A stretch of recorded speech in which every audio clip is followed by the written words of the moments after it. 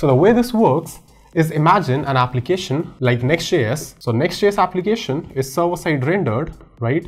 That means on the client, immediately you get some areas which are populated, for example, the sidebar, and some content areas might still be loading. React Server Component approach takes the same thing but these two blocks of components instead of them being rendered on the client instead of this javascript for this particular component executing on the client on your machine they offload that to server right? Now this might sound a bit weird but the way this works is that you still ship a static page like this, but your page over here is aware about a component which is server side rendered. And when you are loading this component, for example, as top dashboard, on the front end, this component never gets downloaded, never gets loaded, right?